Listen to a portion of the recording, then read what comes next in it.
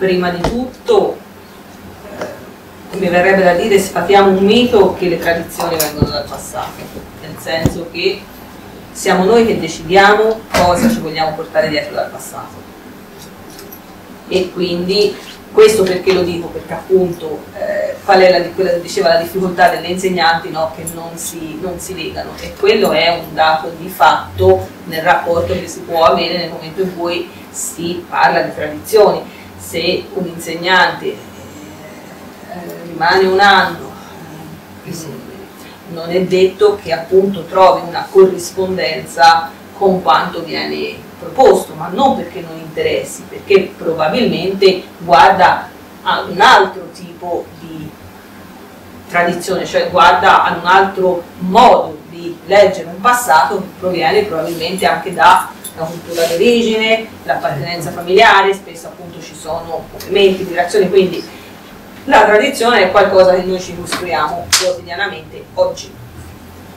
Questo è un dato di fatto è qualcosa che cambia nel tempo, cambia di generazione ed è bene che succeda perché altrimenti rischia di sparire. Fino a quando diciamo, c'è una sorta di riconoscimento e anche una sorta di adattamento per quanto uno possa anche eh, sentirsi distante se un giovane reinterpreta un canto o lo riadatta o, o, o lo arrangia anche musicalmente in realtà sta passando qualcosa, c'è una forma di riconoscimento, altrimenti si in un tempo, uno spazio che è appunto un libro, una registrazione, così si faceva una volta, ma se quel tipo di canto, quel tipo di parola, quel tipo di corrispondenza non, non trova un legame con l'oggi, eh, probabilmente quella tradizione finisce, come finisce tutto nel mondo, come finisce anche il riconoscimento su quello che noi consideriamo patrimonio culturale. Non tutto il patrimonio culturale che noi consideriamo oggi è sempre stato quel patrimonio culturale. Eh, non tutto quello che noi consideriamo un valore culturale o una forma d'arte lo è stato in passato, quindi dobbiamo sempre tenere presente che ragioniamo su un nostro modo di porci di fronte a qualcosa che in qualche modo nel passato è arrivato. Vuoi anche per caso, non è detto che nel passato ci sia sempre stato qualcuno che ha trasmesso, a volte arrivano anche per caso le cose. E ci dobbiamo chiedere se ci sono utili, cioè se noi in qualche modo su quelle forme di tradizione possiamo trovarci un senso oggi. Ed è il famoso problema che si ha con l'utilizzo anche di tante parole, quando ci lamentiamo no, che scompaiono le parole, ma perché scompaiono perché probabilmente si riferiscono a degli usi o a del buonasera, a, ad un modo di porsi in un contesto sociale, familiare, economico che non ci corrisponde più e non le usiamo più quelle parole, le perdiamo perché non hanno più un valore d'uso la lingua è qualcosa che si muove, la lingua è qualcosa che si trasforma, le tradizioni sono questo. Eh, siamo abituati a pensare che eh, sia qualcosa di passato che ci tramandiamo, in realtà lo scegliamo di volta in volta. Lo scegliamo di volta in volta. Nello scegliere costruiamo però un processo interessante, costruiamo un processo di patrimonio, perché siamo noi che decidiamo che un determinato contesto, una determinata storia, un determinato canto hanno ancora valore, cioè noi ritroviamo un valore che cerchiamo di trasmettere agli altri.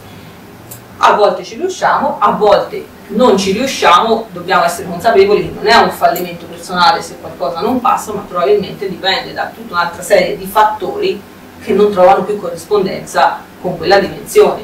E allora ci dobbiamo interrogare su quale senso può avere quel tipo di canto oggi, quale valore può avere quel tipo di eh, appunto idea di tradizione. Se, eh, come accadeva sempre, quasi sempre, insomma, eh, il contesto del canto era prettamente legato per esempio a un ambiente familiare, allora chiediamoci se oggi possiamo riutilizzare la forma del canto in un nuovo contesto familiare che magari si è andato a creare, quindi come ce lo portiamo? Perché vi dico questo? Perché eh, ognuno ha una propria idea di tradizione, ognuno ha una propria idea di valore, ognuno ha una propria idea di patrimonio, non è detto che corrisponda anche agli altri. Ciò che per me è importante non è detto che sia importante per Umberto, detto che sia importante per Lucia, nonostante io gli riconosca un valore, come Lucia riconosce un valore a, ad altre cose, lo stesso Umberto.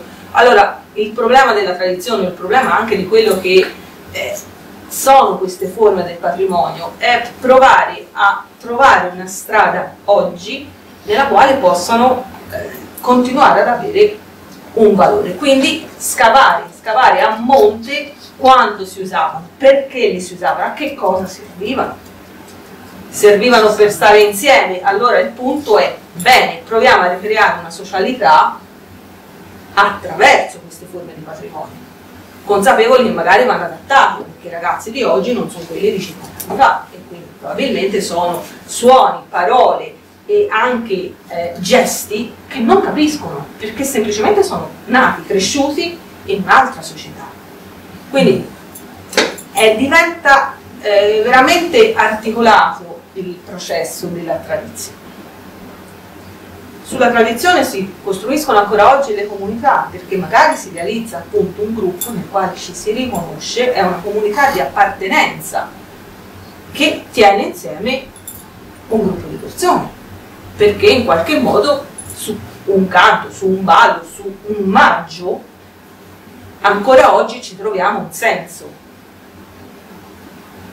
In quel caso che cosa siamo? Sì, portiamo avanti la tradizione, però ovviamente non portiamo mai avanti quello che era per i nostri nonni, portiamo avanti quello che noi pensiamo sia quella tradizione, sempre. Come comunità d'appartenenza, come comunità di sentimento, eh, appunto lei dall'America si trova inserita in questo contesto perché ha una sorta di eh, comunità di sentimento rispetto a forme di tradizione che sta conoscendo, nelle quali trova un senso, trova un significato pur provenendo dall'altra parte del mondo. Quindi non è né più neanche detto che la tradizione sia un discorso prettamente locale, anche se l'abbiamo ricavato in un territorio ben preciso perché magari la rimettiamo in circolo su di nuove dinamiche e eh, persone che non sono di questa zona la riprendono perché ci trovano un valore, un senso. Quindi bisogna stare attenti perché ha sempre una dimensione temporale e ha sempre una dimensione spaziale, soprattutto oggi, nella quale appunto abbiamo una possibilità di comunicare con il mondo intero.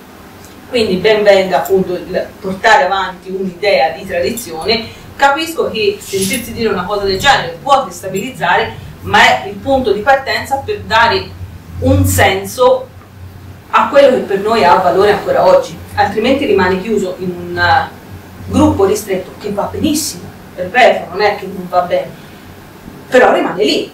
Se per noi quello ha un valore che vogliamo portare oltre, dobbiamo provare a ragionare con l'oltre, dobbiamo provare a ragionare con chi ci sta intorno, un ragazzo di 15 anni perché oggi dovrebbe cantare il maggio? Questa è la domanda che ci dobbiamo fare, non perché io canto il maggio, quindi per me è importante, ma perché un ragazzo di 15 anni dovrebbe scegliere di cantare il maggio? Cosa trova nel maggio? Cosa potrebbe trovare? Allora, può trovare un gruppo di amici?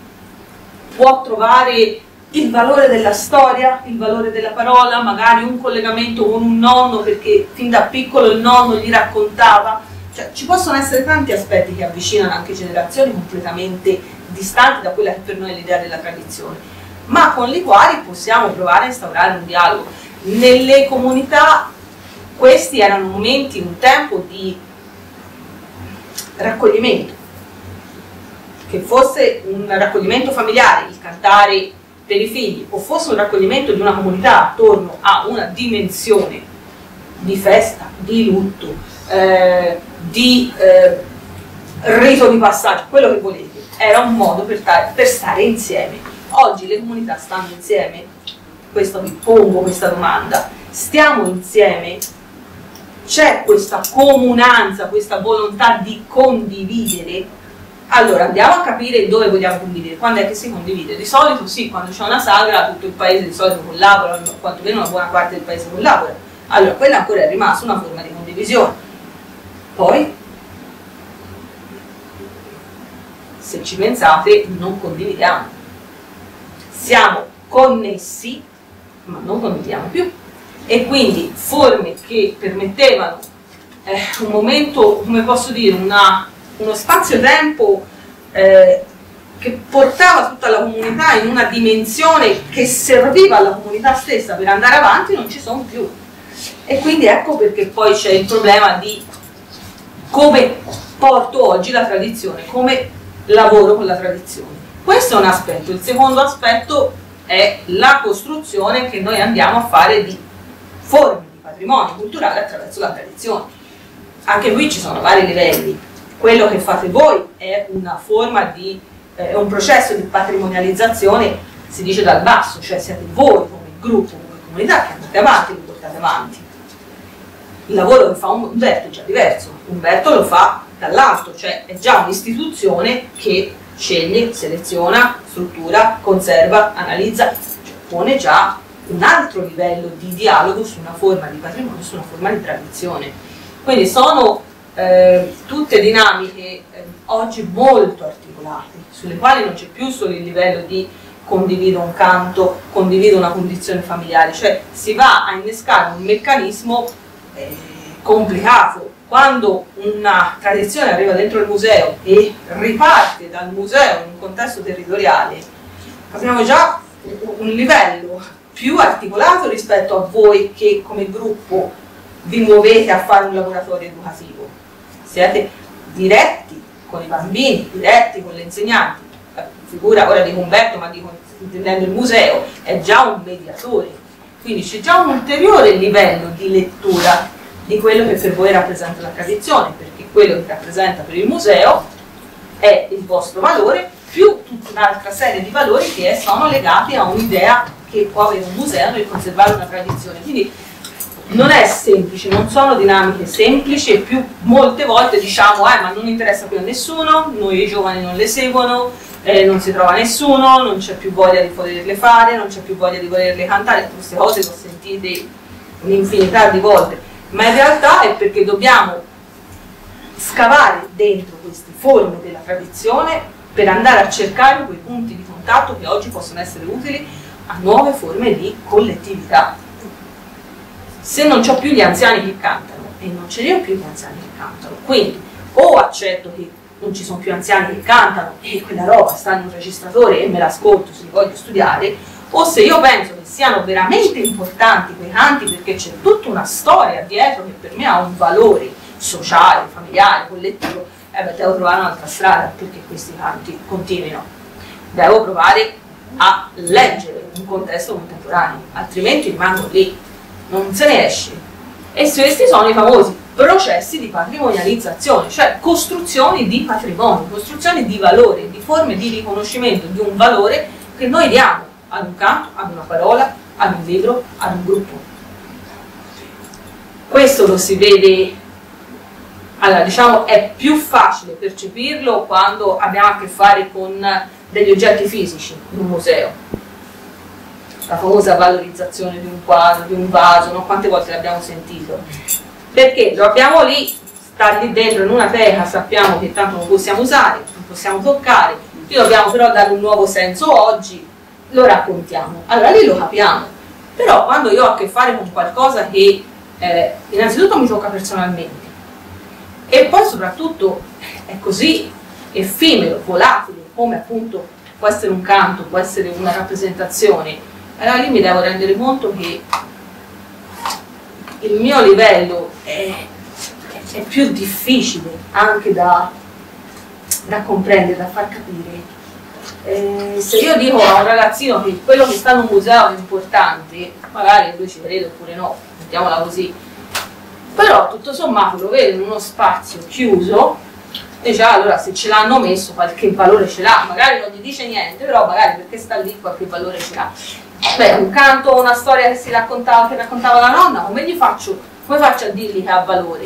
Lo porto dentro un museo? Sì, può essere una strada, ma non funziona, allora devo lavorare su altro, devo andare all'interno della collettività e lavorare con la collettività perché poi se uno vuole riconosce un valore, oppure può anche decidere di non riconoscere più alcun valore perché sta in un'altra dimensione, interessa altro.